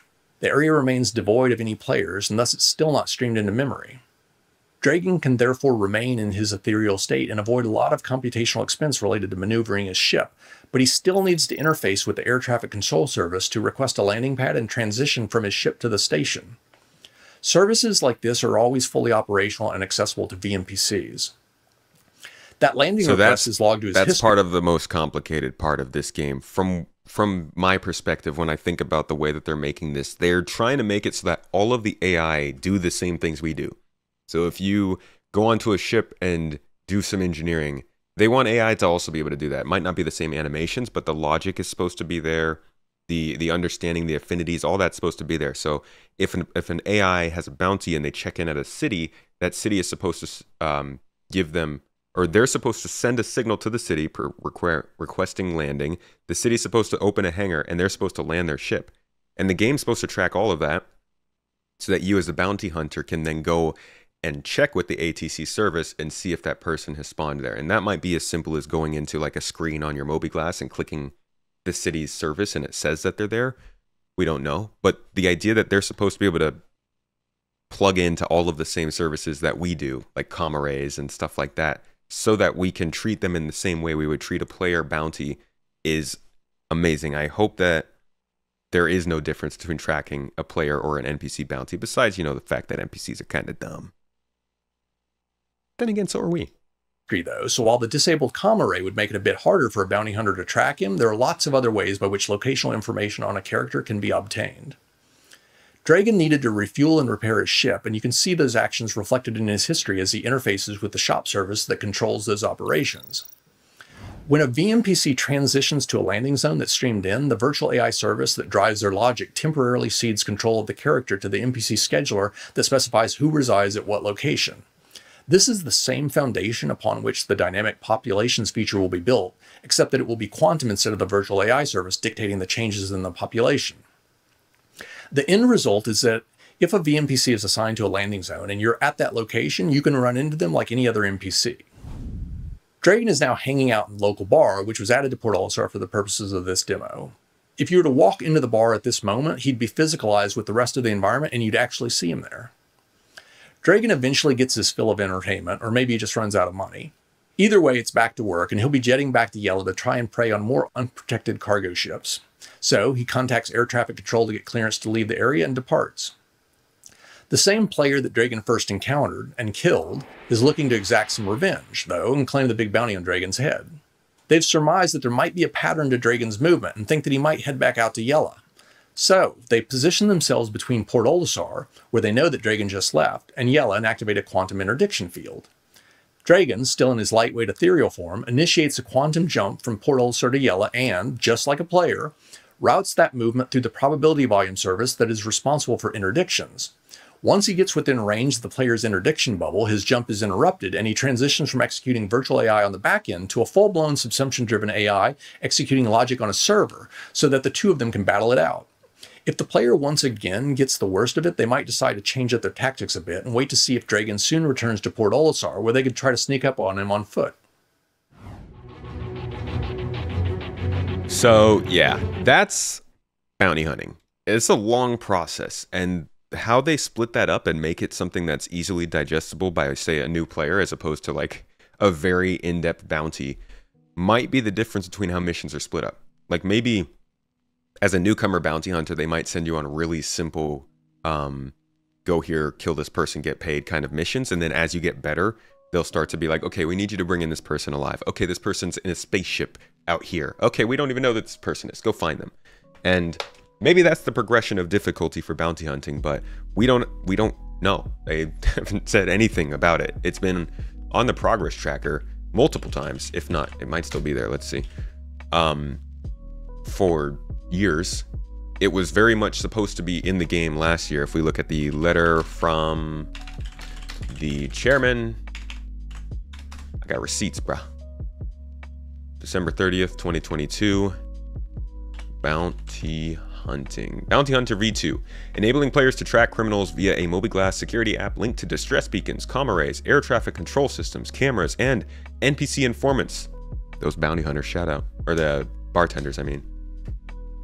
This will rely on various new backend tech, including virtual AI, the NPC scheduler, and security service. So we've already we, we looked into all of those. Um, virtual AI, the stuff we just read about, was having a lot of work from the systems and services team, 117 weeks worth of work. Um, that's not including, not accounting for breaks in here. The NPC scheduler, which determines what NPCs are spawning in which places. Scheduler. There we go. Uh, that was doing work, 130 weeks of work on the EU landing zone team and systems and services team, not including um, breaks. Up until Q3, the NPC scheduler was going. So even if virtual AI was done on here for a while, the NPC scheduler was still quite well under work. I can't believe they haven't presented anything on this, not even at CitizenCon. The last thing we had there was security service, which has also been in the works for a while. Security Network V1 and V V0. Um, the new version is supposed to allow features like locked doors and elevators based on clearance level like um, reputation. There, this stuff's been in the works, and they've clearly got a lot of it done. I don't know why they didn't present it at CitizenCon, especially after in the year prior, the end of 2022, we had Chris Roberts himself come out and say that um, in 2023 they want to have bounty hunting with a full tracking system and the ability to actively restrain and transport players and AI. I know that got set back, but it's weird that they didn't give us any updates on that at uh, at CitizenCon. So now let me show you probability volumes real quick. Because I did say I was going to give you a look at that so you could understand. Let me just see. Here we go. Here's probability volumes in action. This is kind of virtual AI are, are the named characters you're going to meet that matter. Um, but there's also all of those quanta that are spawning in based on where you are and what you're doing. And they might not be named, they might be named, but those are like the combat beacons that you run across. These are the pirates that you go and take out when you're trying to take out the Arlington Gang, stuff like this. So this system probability volumes are how those sort of cannon fodder NPCs will be spawned in for us to just generally play the game while we're out and about in the verse. Offer to pay mercenaries to come to their aid. This is fundamentally different than the brute force tactics we currently rely upon to create missions and dictate when they're available, and it's far more flexible and powerful. What you're really seeing here are the first signs of the dynamic mission system starting to flicker to life, and once it hits full stride, it's going to transform the gameplay experience. Next, let's take a look at how dynamic events allow encounter probabilities and interdiction frequencies to be adjusted. This is the probability volume around Port Olisar. You can see that piracy, the red curve, and security, the blue, are inversely related. All things being equal, if you increase the amount of security, you'll get less piracy and vice versa. Security tends to congregate closer to the landing facilities and dissipate as you get farther out, and thus piracy tends to gradually increase with distance. All right, so here's that same thing that we were seeing before. You can see up here that we've got a, a, a percentage chance of, I think this is freighters, 17.87% percentage chance per minute. So every minute you have a 18% chance of finding a freighter when you are within one kilometer of Port Olisar. Go out to 150 kilometers, much less percent chance. And because of that, you go out to 150, or no, I'm sorry, not because of that. That's the freighter curve. The blue is security, as he'll explain. And you can see that security is obviously stronger out at the space station than they are way outside. That correlates to two things. One, freighters are obviously less popular out there because they need to be at the space station, but also because it's more dangerous. And two, pirates in the red curve are more popular out there because that correlates. Less security, more pirates, more pirates, less freighters. The balance of the the um, probability volume curves. These will be applied to all locations and they will dictate how you run into NPCs when you're approaching those locations. In fact, this is maybe how Blockade Runner is going to function. We'll have to see. The likelihood of an encounter is represented by the height of the curve at that distance. Notice that the chances of running into a freighter, the green curve, is pretty much constant because once a ship has decided to make the journey to or from Port Olisar, it's committed. They've already decided whether or not the risk is worth the reward of traveling the full route. I'm now going to activate the lockdown phase of this event, which is going to crank up the amount of piracy in the selected area and overwhelm security. The red curve, piracy, now has a much larger average height, equating to an increased encounter probability, and because pirates now greatly outnumber security, the curve pushes in much closer to the landing zone. The criminals are emboldened because there's no longer sufficient security to deter them. The blue curve, security, looks identical, although Quantum will, over time, start adjusting the economic levers to gradually increase the amount of security to combat the threat by offering greater rewards. Increased piracy has had an immediate impact, though, on freighter traffic, which has dropped precipitously. This means that the local economy will start to seize up. They won't be able to import food, medicine, fuel, or whatever else they need, and they won't be able to export whatever goods and services they produce. All of these knock-on effects are only possible because designers will now be able to nudge the economic gears in proper systemic fashion. Let's test one of these knock-on effects. Now that we've adjusted the encounter probabilities, let's see what that does to quantum travel in the area. I'm going to once again bring up a game client, this time so that we can watch an Avenger Titan jumping to Port Olisar. This is a short jump and the chances of interdiction would typically be very slim. Now that we've injected a much larger pirate presence around that location, however, that's no longer the case. We got ejected from our jump as soon as we got within range of those elevated pirate probabilities, which means that getting to Port Olisar just got a lot more difficult and time consuming and will remain that way until the threat is addressed. We're now to the point where we can allow programmatic modification of these data structures, and Quantum will soon start adjusting these automatically so that all sorts of things within the universe start to ebb and flow. What all of this really means is that even when you know that you can buy medical supplies dirt cheap at one location and sell them for a hefty profit at another, we can finally start to adjust some of the systemic elements to justify the disparity. In short, if you wanted to take advantage of Port Olisar's elevated prices right now, you'd have to fly the last mile at conventional speeds and we'll probably see quite a bit of combat. That's going to drive up how long it takes you to make the run. You're probably going to burn quite a bit more ammo and require more repairs than would otherwise be the case. And you might want to think about recruiting some armed escorts to help you through the dangerous areas. Once the risk abates, once players in Quanta have dispatched enough of the pirates so that travel within this area returns to normal, you'll be able to much more easily deliver medical supplies to Port Olisar, but of course that increase in supply will quickly shrink the price differential. Now let's take a look at how each server can host part of a larger event while the things that really matter can remain synchronized. I'm going to enable the war phase by calling the start war function. That's going to create some staged battles involving the ship types we selected earlier around Port Olisar, the area that we previously selected. I brought up a couple of different client windows, each of which represents a different server. As each cutlass is destroyed on either server, the shared variable called enemies remaining is decremented, once that variable reaches zero, the war phase will automatically terminate and the victory phase will be activated. All right, this is kind of getting into global events. We don't need to talk about that. Um, this was though generally the full update on what quantum is. And now that we've gotten past that, I was gonna dip into this talk a little bit, but this one is very theory crafty. What is this? Think this I think we might have gotten one update here. This is October 2021. So this is like pretty shortly after this. Um, but this is I think the last video update at least we got on what's going on with Quantum. Let's see if there's anything here. About the rest of the game.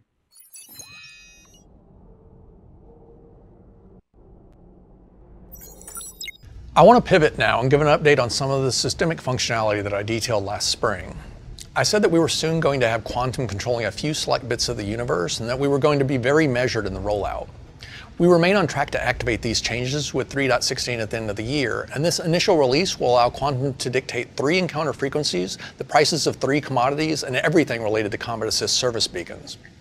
As the simulation is refined and more of the linkage to the game is completed, we will expand the scope of these early tests and enable Quantum to play an ever larger role in shaping the universe.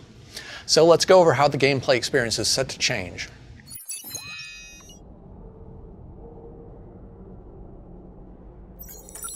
Probability volumes dictate how the likelihood of an encounter type varies within that region, and historically that information has always been static. Dynamic events, introduced in early 2021, allow that data to be changed by mission logic, but still don't support systemic modulation. You can see the frequency curve for pirate activity in a few minutes later. Up until now, all of our dynamic events have been manually all triggered right. by someone loading. So I'm pretty sure he didn't actually give an update on quantum, dude. Like what?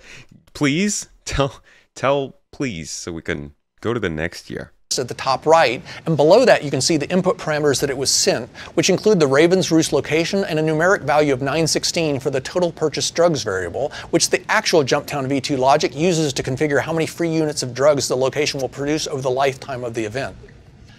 Few moments later. The ultimate purpose of systemic triggers, then, is to allow us to easily and programmatically dictate when and exactly how handcrafted custom content will be layered onto the background tapestry driven by quantum systemic logic.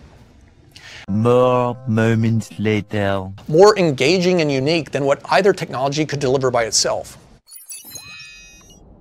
Ah, a conclusion. Yes. That's it for our show today. I hope that you now have a better sense of some of the things we're aiming to accomplish over the next year, and that you're as excited as we are about the potential of these new features and technologies to really transform the gameplay experience. Until next time.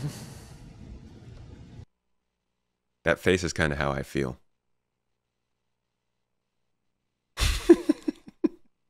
I remember this being my least favorite panel of this, this CitizenCon. I don't even think I watched this whole thing. I think we watched it together when we were live. I never went back and watched this because it was so just like what? Are you what? Why why? Yeah this was a, a pretty disappointing panel in my opinion. Um so not much of an update regarding quantum there. There are a couple things that i have here though. I honestly don't remember now what these clips were saying. I think these were about some of the details um, let's listen to these two clips and then we'll get into the monthly reports and that will explain kind of more of what's actually going on. The videos will tell you some stuff, monthly reports will tell you what's actually happening, and we have gotten some updates since then. So we'll go over those in a second. I just want to see what I tried to save here and why. Back on the the the discussion of loot and rarity from the live chat here, um, do you? I'm trying to think how to reword this. Right, How do, uh, right, right, right, right, right. This video is about um, the idea of resources and things being placed in certain places and that spurring the idea of demand and supply in the economy. Not a big thing. It's obviously stuff that we just went over, but it's interesting to hear from the devs who are actually working on the gameplay side of it as opposed to just the theoretical economy side. And it's a little more updated info.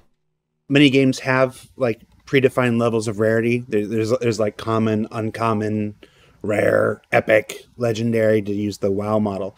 Do we have those levels set? Do, are, are, are you are you at a place where you can share with us what are the rarity levels referred to as?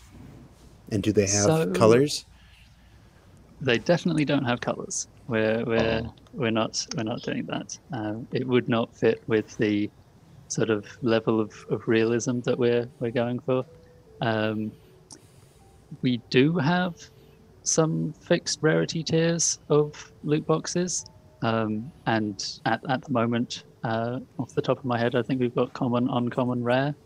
But um, what that means is not a, a global setting. Uh, so, what, uh, how how likely you are to find a rare loot box is not going to be the same in every location, and its contents are not going to be the same in every location.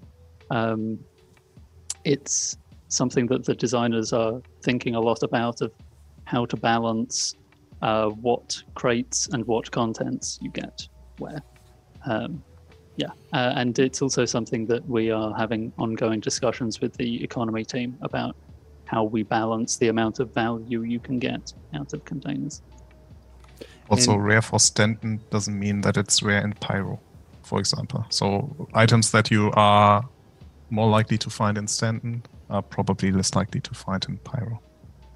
Gotcha. Like Yeah, water. Very, very good point. Clean water. So when we talk about rarity, we are not talking about stats. We are not talking about uh, uh, uh, uh, uh, this thing is be- not using it in the traditional WoW model, where you know every time you fight this thing, it drops a, a, a, an epic thing. It's, we are talking about rarity in the truest sense of its word and how difficult it is to find, how difficult it is to acquire.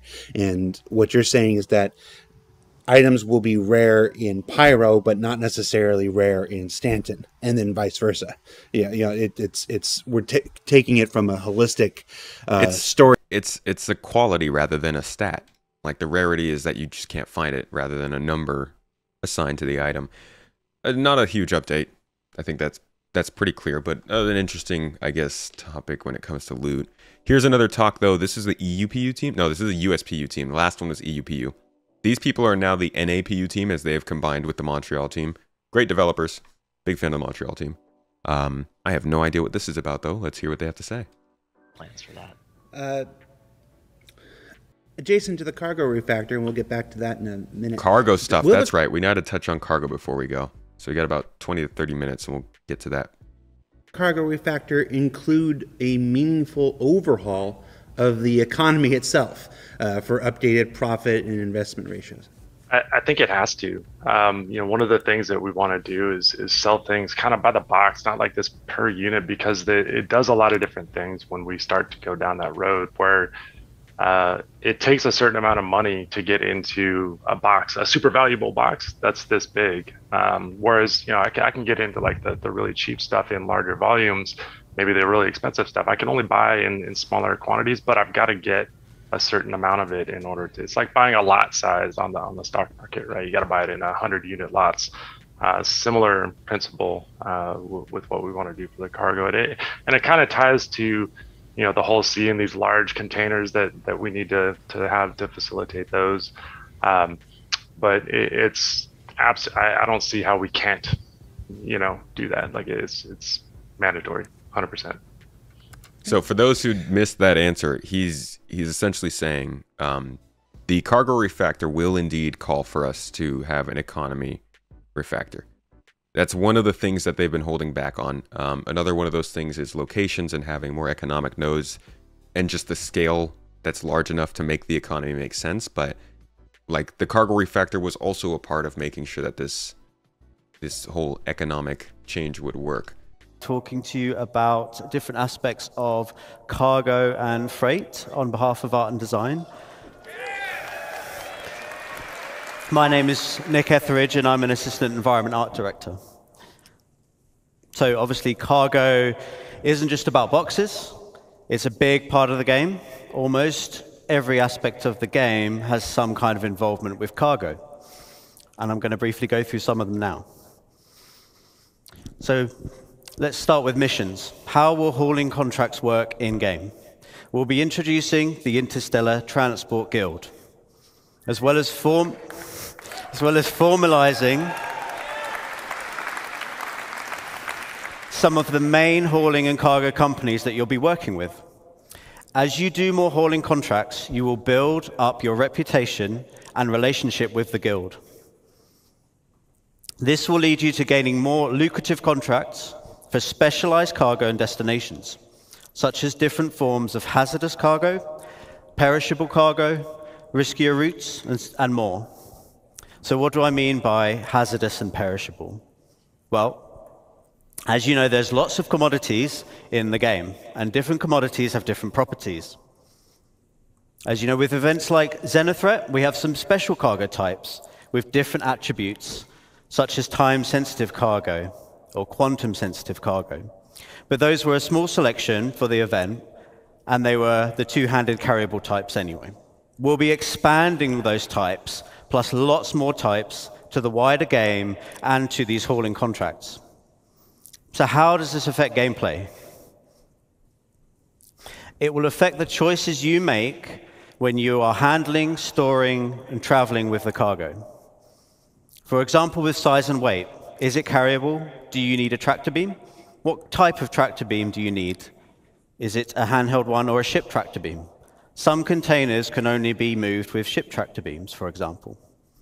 With health, has the container got good? I am very curious.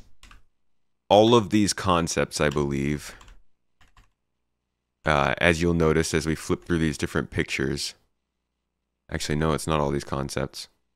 Most of these concepts? No, all of these concepts have little screens on them.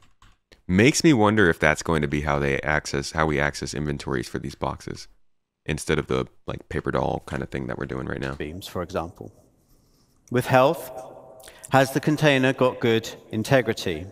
Is it holding fragile goods? Do you need to handle it with care? You can't just throw all containers about.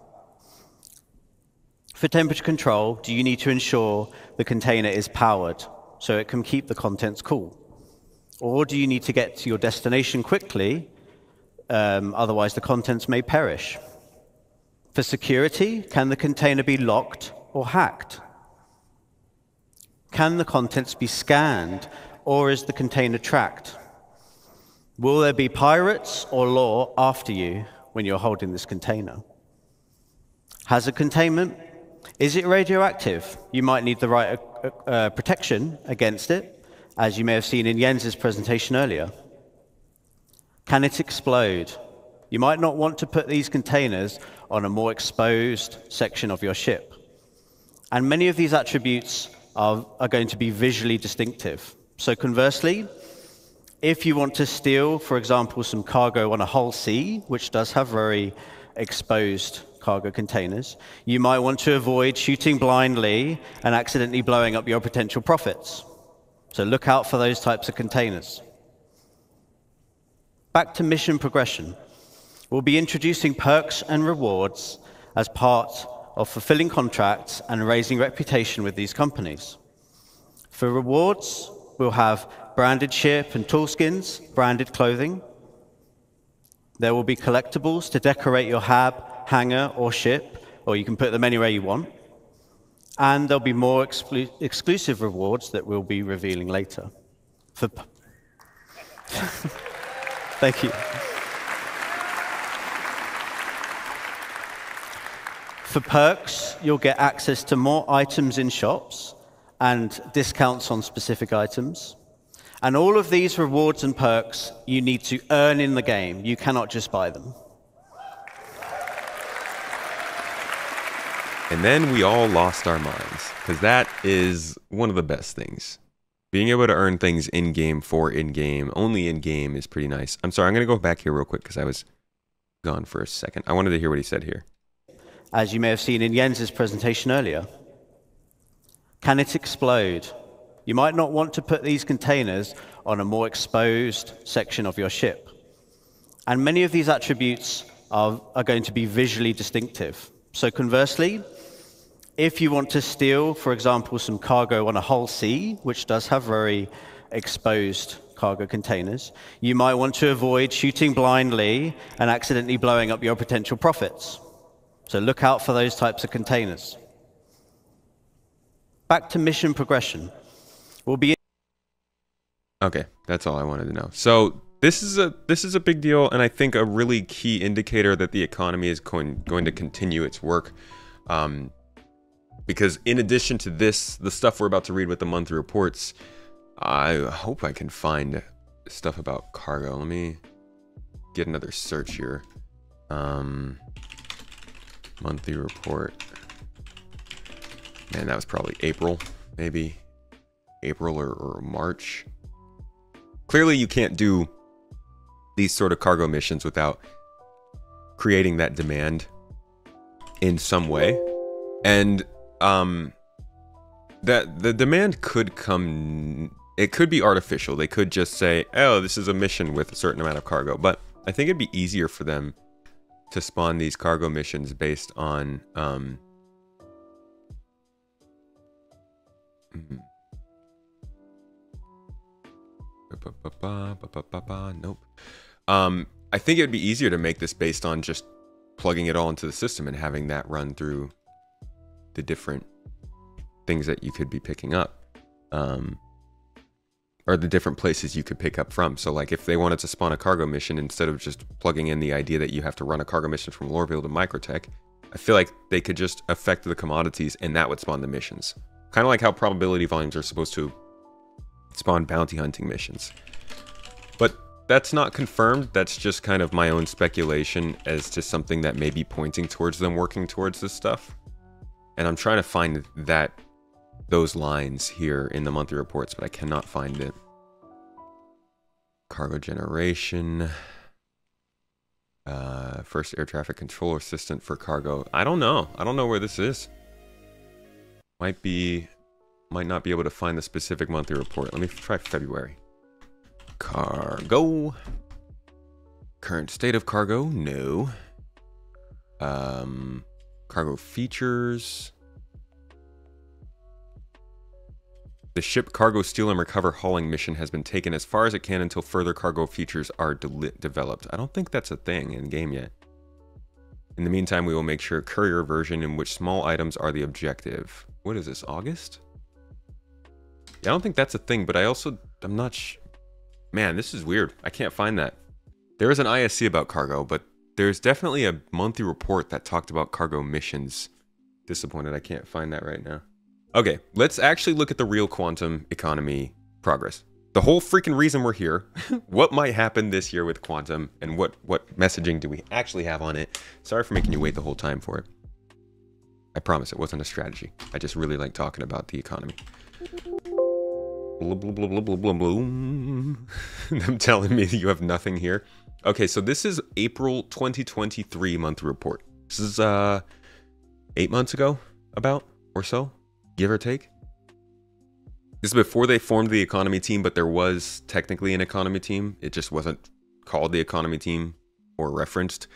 Um, but they did have the systemic services and tools team, and we can see that they were getting some of their stuff updated. So service beacons were undergoing their refactor. Um, and they completed shop optimizations and began prototyping mission markers for bounty hunting. That is for virtual AI. They're currently preparing to work on the virtual NPC service. That's the work that we saw um, just now in the in the progress in the video stuff. And then the team planned out the next set of milestones for the Quantum Odin tool too. So Quantum and Odin are the tools that they use, the graphical interfaces that we've been looking at. As you can see, see if he lists it here anywhere. Yes, you can see Odin up here in the top corner. And then Quantum, obviously. We've heard that word enough today. Quantum time, baby. if only it was quantum time. So yeah, the quantum simulation and Odin tool, we're seeing work um, back in April and before that. It's not like they were just starting them, but monthly reports are important. Now you got the next month, May 2023, an update from the Systemic Services and Tools team. Uh, Systemic Services and Tools spent the month working towards Bounty Hunting V2, including finalizing upstream work on the character creation service, R&D for bounty contract missions, a bounty hunter uh, bounty marker prototype, and connecting the NPC tracker service to the game server. That's a lot of work going into bounty hunting on the back end, right? We saw front end updates with things like restraining here. Um, so like clearly the gameplay teams are working on the stuff that the services teams are working on, and bounty hunting is pretty far along. This is this is May. This isn't even like November monthly report. So this is part of why I thought, it was kind of weird that it didn't show up at CitizenCon, but they can't show everything, right? They need to be able to hype up Q1, Q2 of the next year with something that they've been working on. They can't just show us a bunch of prototypes. So they also gave us an update on Quantum. Uh, they continue to work on the Quantum and Odin tool, including making progress on the data driven economy, Quanta State, Quanta Life, and the Battle Matrix and Battle System. So, in depth work going into the quantum economy. Clearly, it's not like nothing's going on. They continued these updates throughout the year, with another update coming in in August. Mm. And in August, they finally split out a new team. So the Systemic Services and Tools team uh, spit out an economy team that is more properly formatted and focused on building out all aspects surrounding the economy in Star Citizen. So finally, there is an there there is a true team of heralds for the market, for the free market, the UEE. It's probably not a free market. The UEE kind of sucks. So what they said about the economy team in August is the first month they had it running. The new economy team planned their upcoming goals, including rebalancing cargo and the related experience, including cargo and the related experience. Hold on, wait for it. What's this? Cargo and the related experience. They're they're working together on this. They're definitely doing some things and they're not telling us what. They also began building a tool to investigate the current state of cargo. Hey, look more cargo, which could be expanded to other areas of the in-game economy. Now, just to be sure I'm not missing anything here, I will go back and search specifically for cargo. But the economy team is working on cargo stuff.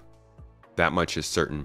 As early as August, as a as their own focus team. You guys remember what happened to missions once the missions team started to get their their things, their pots on the stove, for lack of a better term, their their picos in a cave.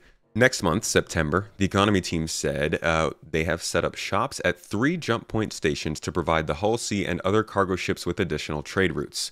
Not a big deal, but it does show that the economy team is ready to do changes on a monthly basis to help support the gameplay that's coming in. Whereas all these times that we were hearing about this before, these were like, oh, yes, we have a big picture that's going to come about at some point. Now that we have an actual economy team focusing on the game, things are fundamentally different. They're focusing on the actual game at hand rather than the massive simulation that needs to come someday. They're still working on this, but clearly they're starting to make meaningful changes to the game in real time. And that's why I think even if we don't see quantum simulation as a whole this year, we're definitely going to see changes around cargo um, and, and other things that do make us at least notice the economy more. They also worked on rebalancing commodity trading in Stanton and Pyro as part of a large initiative, larger initiative to improve the gameplay experience for haulers and traders. Again, stuff we haven't seen. This isn't from September. Economy Team then supported other teams such as Character Art and Interactables with pricing for new player equipment, balancing prices so that it makes more sense based on how we're looting and earning. Lastly, the tool that extracts live game data to help inform the profitability of various game loop, gameplay loops and assist in balancing was completed. Somebody was asking actually if they used Quantum to track all these statistics that they get from players. This tool will probably help them a lot more with that, and it's, I think, separate from Quantum, but slightly related. Mission features worked alongside economy to more accurately balance the cargo manifest seen in Salvage Bounty and Assassin's missions to ensure they don't break the economy. Again, another example of the economy team stepping in to make real-time changes to the game rather than focusing just on that long-term vision they have. So in October, the economy team continued balancing the probability profitability of commodities for Pyro and Stanton. So they just continued what they were doing. They also began reviewing and balancing the AUEC prices of vehicles, identifying various criteria to help inform how they should be priced to better reflect their current potential. That's a huge deal. The, the prices of vehicles will dictate the prices of materials or vice versa, and the prices of materials are the whole point of why we do salvage and mining and all that stuff. That's that's the economy itself. The makeup and value of the most valuable and important objects in the game, spaceships, are probably going to drive a lot of what makes the game function. And they're actively doing that now, at least as of October. Similarly, they started balancing the prices of armor using an algorithmic approach based on information pulled from live game data. Vehicle and armor price balancing feeds into the team's goal to holistically balance effort versus reward across the game and provide other, other teams with guidelines on how to price items in the future. Economy also supported other teams on gameplay features, including the vehicle tractor beam, salvage contracts, and the profitability, profitability of loot found in vehicle wrecks. Additional support was provided for various events, including CitizenCon, the Intergalactic Aerospace Expo, the F8C Hunt, and the Day of the Vara. So when I say that like things are different from before, I'm I'm not I'm not being being hyperbolic. I'm not being like it's not copium. Things are literally different. We could go back to 2021 October and see what they're saying about the economy. I guarantee you, though, it has nothing to do with the game actually working. In October, the Systemic Services and Tools team wrapped up their ongoing work on the economy tools and AI simulation. They're now focusing on optimization for the remainder of the year. The new gameplay feature mentioned last month continued its development. Work progressed on intelligent NPCs spawning and tracking, with the latter half, uh, latter half of the spawning system progressing well. Tracking system continues towards its first major internal milestone. See, it's, I mean, this first part is at least optimization for something over the course of the year, but a lot of this stuff was like very much. I guess they did help on the inventory system at least. Very much back end kind of focused on the the whole system kind of thing. And they I guess they talked about that a little bit here when they talk about like the quantum and Odin tools. But the differences of balancing commodities and materials in the game versus um, just working on the actual economic system, I think, makes a bigger difference to us because we're playing the game. We can't see their internal system being built. And that kind of feedback of the game we're playing changing makes a bigger difference to players. Throughout September, Systemic Services and Tool Team continued to work on the economy tools and Quantum, the AI simulation. Edge cases were also wrapped up for easier use in recording. So again, it's it's mostly work, work, work and a lot of stuff on server meshing. They actually had a lot to do with the transition over to server meshing. But that's that wraps it up, folks. I hope that gave you a little bit of a look into not only what the economy simulation is supposed to be or the overall simulation of Star Citizen, but kind of where we're headed for this year. Things to look out for in 2024 regarding the economy um, are cargo missions, commodity prices all starting to change to better reflect how ships are realistically supposed to be priced, virtual AI in bounty hunting, and I guess the, the, the increasing of probability volumes making a difference on the missions we get. I don't know how much that's actually going to change this year, but those first three, specifically paying attention to how cargo hauling and trading are going to change throughout this year, and then virtual AI with bounty hunting, I think are two of the big tells. But they talked a lot here Oh, they talked a lot about the cargo missions. So that's where I think we should be focusing, and hopefully what we see by this summer. Uh, I don't think it'll happen, but I hope we see them by the summer. Either way, for 2024, there's no way the economy stays as stagnant as it has been. I think we can say that pretty confidently. And I think that's true for quite a few parts of the game, but uh, you know, believe it when you see it. We'll wait until Q1 update, maybe Q up Q2 update to see what they're actually doing and putting out this year.